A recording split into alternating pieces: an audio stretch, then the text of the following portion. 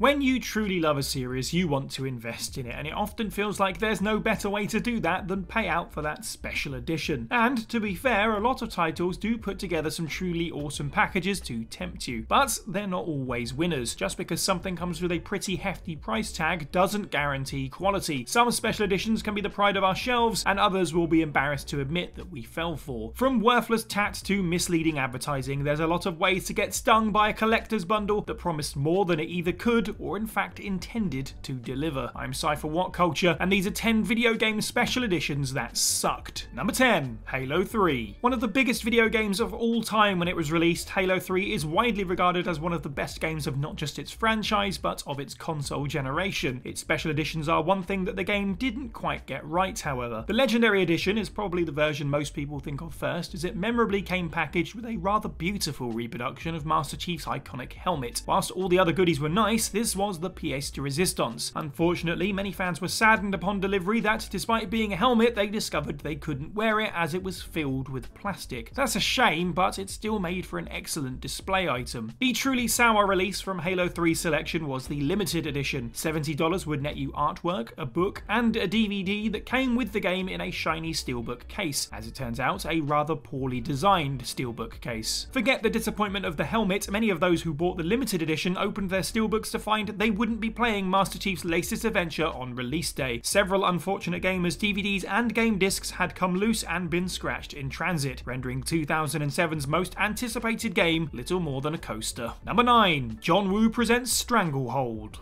Cult classic 1992 Chinese action flick Hard Boiled brought together director John Woo and action star Chow Yun Fat. Not only was it a success in Asia, it also proved to delight American moviegoers during a time when importing films was not all that common. Fifteen years later, the director and actor reunited to work on a sequel, guiding Midway Studios in a surprising turn of events. Stranglehold, released for Xbox 360 and PS3, continues the story of Hard Boiled with Yun Fat back in the lead role of police detective Tequila. As a cult movie, Hard Boiled was not something everyone had seen before, so quite cleverly, the PlayStation 3 special edition of Stranglehold came packaged with a Blu ray of the preceding film. That way, players could enjoy the movie and familiarise themselves with it before diving into the sequel video game. It was a brilliant use of Sony's Blu ray functionality. Considering it came with an additional extra features DVD, it was quite literally like buying a film and a game perfectly packaged together. Unfortunately, of course, Xbox owners couldn't be afforded quite the same thing, but instead of a DVD of Hard Boiled, they received the extra features DVD, and that's it. At least they could hear insights about the film they couldn't see, I suppose. Very clearly, however, Xbox owners got shafted compared to the average PS3 player. Number 8. Fable 2. For a moment, Fable 2 was one of the most talked about Xbox exclusives. Not only was the first game a rare case of an RPG on the system, it had sold very well and received high critical praise. When Fable 2 got its much anticipated release date, developers Lionhead also revealed the Collector's Edition, which had a good spread of different content a sturdier box, special tarot cards, a Hob enemy figure, a DVD, and an exclusive in game dungeon. Better yet, it retailed at $80, which wasn't that much more than the standard game, so it was a mighty tempting offer. This exciting package got a little bit less exciting when, weeks before the game was due to arrive, Microsoft announced that supply chain issues had interrupted production and that the collector's edition's boons were being severely reduced. Now the special release would simply be a DVD and a code for the special DLC, and the price would be adjusted to $70 instead. The hits kept on coming for some players, as when the now much smaller special edition arrived, some found that the DLC code was completely missing. Loftier expectations than they could deliver? Why, this could never be a Peter Molyneux game. Number 7. Call of Duty World at War. After the release and subsequent sales success of Modern Warfare 4, Call of Duty's fans were excited about the future, and many were ravenous to pre order the next installment. So Activision decided to sweeten the deal for World at War by offering a collector's edition. The big talking point for this package was the inclusion of a metal drinking flask that was described as an authentic 8 ounce brushed stainless steel Call of Duty branded canteen. Question players had to ask when their limited edition copy arrived was how many authentic canteens are sealed shut. Not only was the flask not usable for drinking, it was little more than a paperweight, as its shape meant that it wouldn't stand up and thus wasn't something easily displayed. There was one advantage with this collector's edition, however, which was it was pay to win before the phrase had even risen to dominance. Those who purchased the limited edition got early access to the powerful FG42 machine gun and had an exclusive free weekend of double EXP, meaning killing other players on release day was not only easier, but you got better rewards for it. If you were flush with cash, these advantages sounded great, but the unfortunate downside was this special edition was essentially punishing players who didn't pick it up. Number 6. Dying Light. A lot of the worst special editions make promises that they don't keep, and you'll often find that the thing you bought doesn't reflect the advertising. That's not necessarily true of Dying Light Spotlight Edition, it's just that this marketing stunt never got resolved. Of course, created purely for the laughs of it, Dying Light Spotlight Edition is a true investment into a franchise's future, quite literally, as it's all in aid of financing a Dying Light movie. For the low, low price of $10 million,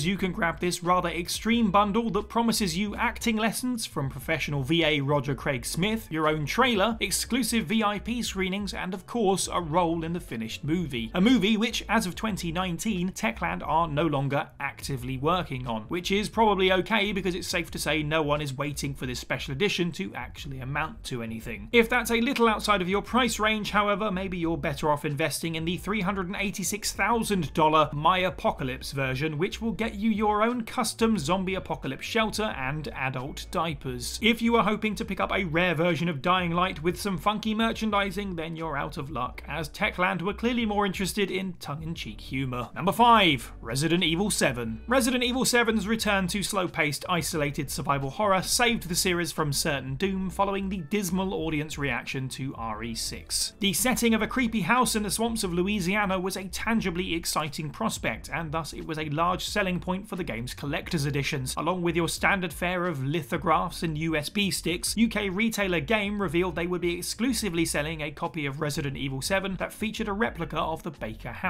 However, as it came to release week, Game had to announce that they wouldn't be delivering the special editions as their entire shipment had arrived faulty. Angry fans were at least reimbursed for their troubles. For once, the trope of not including a game in the collector's edition meant that gamers at least wouldn't miss out on their chance to play it, assuming they pre-ordered the disc or digital version elsewhere. The US actually received a completely different version of the mansion. It's larger, much heavier, plays music and flashes lights. Ultimately, however, as good as it is, it's only an awkwardly cut portion of the house rather than its full European counterpart. Still, at least you are more likely to receive this one in one piece. Number 4. Batman Arkham Knight. The fourth and final entry into the Batman Arkham series went bigger and battier than ever before, and at long last it allowed us to get in the driver's seat of Bruce Wayne's signature wheels. This addition to the formula was a large part of the game's marketing. Appropriately, the most expensive version of Arkham Knight was the Batmobile edition, which for $200 featured an art book, a comic, and a high quality statue of the in game criminal crushing cruiser. Unfortunately, mere weeks before the game was released, Warner Brothers announced that it would be cancelling this version due to unforeseen circumstances. Since the Batmobile was never produced, we can't comment on its quality, so that's clearly not what sucks about this special edition. What really frustrated players was that those who had pre ordered the most expensive and exclusive edition, forking out maximum money for the next installment in the series, were suddenly empty handed. Cancelled at the 11th hour, fans that had their payments sent back to them were out of luck if they wanted to get the next tier down for Arkham Knight, as the limited edition that came with a Batman statue had long since sold out. Stinging your most passionate fans at the last minute is not how you want to get people excited about your game. Number 3 Fallout 76. Putting aside the generally negative player reaction to the finished product, the hype for Fallout 76 was palpable before release. An always online Fallout title seemed like a perfect fit, and Bethesda took full advantage of the excitement with a ballsy special edition. The Power Armor edition of Fallout 76 was the franchise's biggest yet, which was saying something considering a version of Fallout 4 had a wearable gauntlet that integrated your phone and an app to make it feel as though you were using a Pip-Boy whilst you played. Still, the $200 release made a pretty big statement with its full-scale helmet, 24 miniature figurines, map, and West Tek branded canvas bag. However, this canvas bag turned out to be little more than a cheap nylon sack. With fans bemused and disappointed, Bethesda made a statement that read, Unfortunately, due to unavailability of materials, we had to switch to a nylon carrying case. Not a great look to admit fault at the same time as shrugging your shoulders at the fact you didn't bother to inform those who had put their money down for a different product entirely. More adding salt into the wound than covering it up, Bethesda offered those who felt slighted to file a complaint for some extra in-game goodies, but the damage had been done. Number 2. Final Fantasy XIV. Everyone remembers the absolute torrent of controversy that was the original release of Final Fantasy XIV, an MMO so bad that Square Enix were forced to end the world using in universe lore as an excuse to turn the servers off and start them back up again when they had basically remade the entire game. The mistakes weren't limited to the code though, and Final Fantasy XIV seemed cursed even when it came to its collector's edition, which featured an art book, a security token for your account, and a leather bound cup. Unlike Call of Duty's sealed canteen, the flask for Final Fantasy XIV was indeed an open container. However, pretty severe warnings came packaged with it. Do not fill the product with the following materials as they may cause damage. Items including salt and solid materials, carbonated beverages, milk or other dairy beverages, fruit juices, etc. Essentially then, if you wanted to use your flask as a cup, you were limited to just water, although the etc in that list is a little bit of a cause for concern, considering it already can't handle dairy or fruit juice. Some keen players who purchased it reported that the cup was mouldy or smelt bad, which begs the question, who managed to design a cup to be this outright useless? Number 1. Marvel vs. Capcom Infinite. The Marvel vs. Capcom series isn't just one of gaming's wildest crossover fantasies, it's a genuinely beloved franchise with titles like 2 and 3 being celebrated by the fighting game community for years after their release. 2017 saw the series return after 6 years away with Infinite. Infinite's Collector's Edition was a huge package that retailed at $200 and you could kind of understand why. Aside from early access to the next 6 DLC fighters, the key attractions were 4 statues and a case that contained the glowing Infinity Stones. The preview image was truly awesome. But handing over such a price tag means you need to deliver and advertising for the Collector's Edition was sorely misrepresentative of the final piece. The image that showed shining gems was nothing but a bold-faced lie and instead MVC fans were now the proud owners of six coloured plastic eggs. It wasn't a good way to top off the release of a game that had already had a tumultuous journey.